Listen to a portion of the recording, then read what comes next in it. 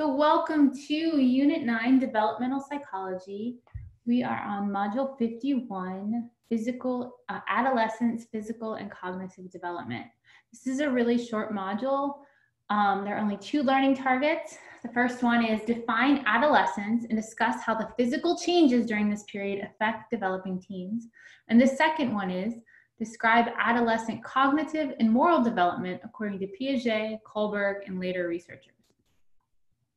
So we hear the term adolescence all the time. Well, what is adolescence? Adolescence is the transition. Sorry about my dogs. Okay, sorry about that.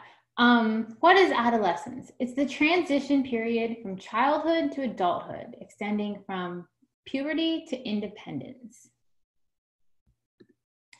So it's a time when many teens are craving social acceptance, but often feeling socially disconnected.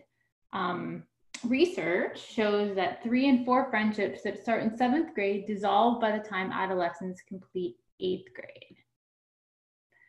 So after 30 years, many who grew up in independence, fostering Western cultures, look back on their teenage years and they think, oh, it's not something I would want to relive. It's a time when their peer social approval was so very, very, very important for them. Their sense of direction was sort of in flux and they felt alienation from their parents a lot at that time. So a lot of people, especially in Western cultures, look back on their teen years as times that were really, really um, tumultuous times that they wouldn't necessarily want to relive. Um, what is puberty? Puberty is the period of sexual maturation during which a person becomes fully capable of reproducing.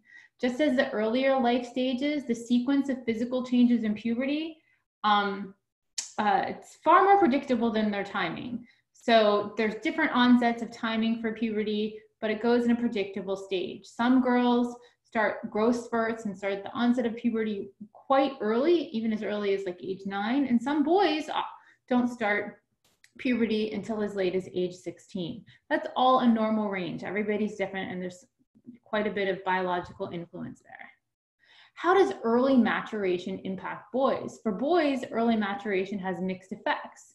Boys who are stronger and more athletic during their early teen years tend to be more popular, self assured, and independent, though they are also higher at a higher risk for alcohol use, delinquency, and premature sexual activity.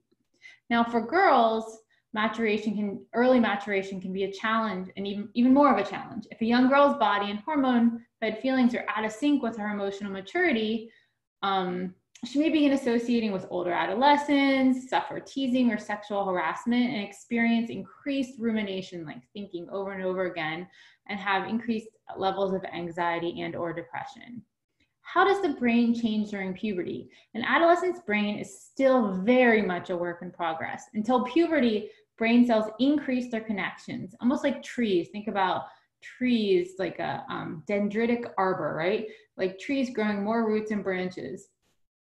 Then during adolescence becomes a selective pruning of unused neurons and connections. As teens mature, their frontal lobes also continue to develop. The continuing growth of myelin, if you remember back to our biological basis of behavior modules, um, myelin is the fatty tissue that forms around the axons and speeds up those neurotransmissions, enabling better communication with other brain regions. These developments bring improved judgment, impulse control, and long-term planning. And during this time, you know, the brain really is still developing. And for many, brain development won't, um, the you know, brains won't be full, fully mature until like the mid 20s. Okay, so developing impulse control. Surveys of more than 7,000 American 12 to 24 year olds reveal that sensation seeking peaks in the middle teens, with impulse control developing more slowly as frontal lobes mature. You can take a look at that image right there. How do adolescents think? Well, during, during the early teen years, reasoning is often self focused, turned inward. Adolescents might think that their private experiences are unique, something parents just could not possibly understand. But, mom, you don't really know how it feels to be in love. Capable of thinking about their own thinking and about other people's thinking, they also begin to imagine what other people are thinking about them. Um, when adolescents achieve the intellectual summit that P- Jean Piaget called formal oper- the formal operational stage, they are able to start thinking in more abstract terms. Their abstract reasoning tools develop to a much greater extent.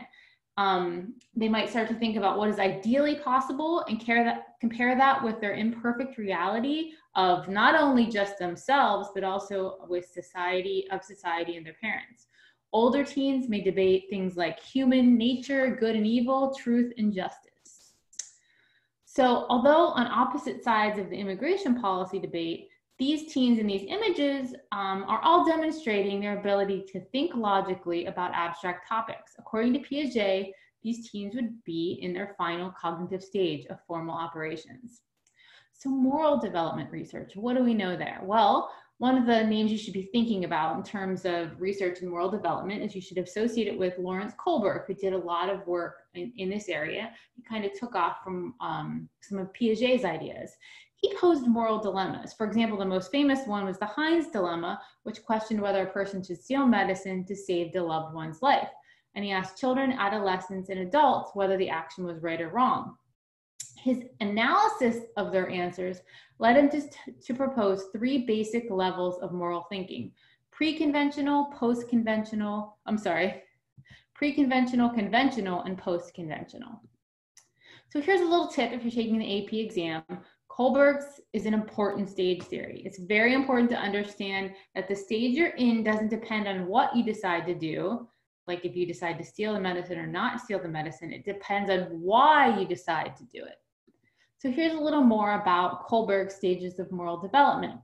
Um, and generally speaking, the pre-conventional stage is um, before about age nine, and the focus is self-interest, obeying rules, avoiding punishment, gaining rewards. So for example, someone in this stage would say, if you save your dying wife, you'll be a hero. So the conventional morality would be uh, most people that are in early adolescence would be in that stage.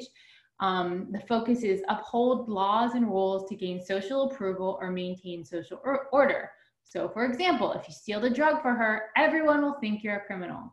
And then the final stage, adolescence and beyond, the focus is actions reflect belief in basic rights and self-defined ethical principles.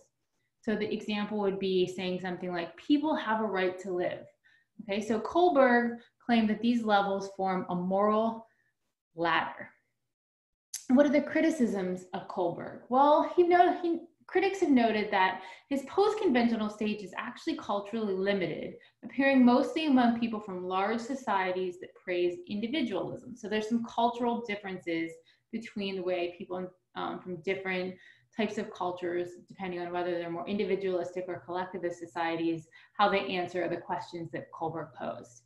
So Carol Gilligan also had some criticisms. She and her colleagues suggests that the ladder of moral development describes Western individualistic males more than relationship oriented females.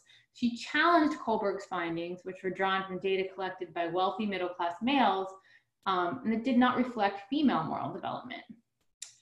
Uh, psychologist Jonathan Haidt, who's a contemporary um, renowned psychologist currently, um, he believes that much of our morality is rooted in moral intuition, sort of our quick gut feelings um, are affectively laden intuitions. According to this view, the mind makes moral judgments in the same way it makes aesthetic judgments quickly and automatically. Feelings of disgust or elation trigger moral reasoning, says Haidt. So we are already back to our reviews, our learning target reviews. So Adolescence is the transition period from childhood to ad- adulthood, extending from puberty to independence, social independence. For boys, early maturation has mixed effect effects, some positive and negative things. For girls, early maturation is more challenging generally. The brain's frontal lobes mature and myelin growth increases during adolescence and the early 20s, enabling improved judgment, impulse control, and long-term planning. Jean Piaget theorized that adolescents develop a capacity for formal operations, and this development is the foundation for moral judgment. Kohlberg, you know, moving on from, from Piaget's research, proposed a stage theory of moral reasoning, from a pre-conventional morality of self-interest to a conventional morality concerned with upholding laws and social rules, to a post conventional morality of universal ethical principles. Finally, other researchers believe that morality lies in moral intuition and moral action as well as thinking. That was Jonathan Haidt's idea. Some critics argue that Kohlberg's post conventional level represents morality from the perspective of individualistic cultures. So there are some criticisms um, of Kohlberg's theory. And that is it. Thank you for listening.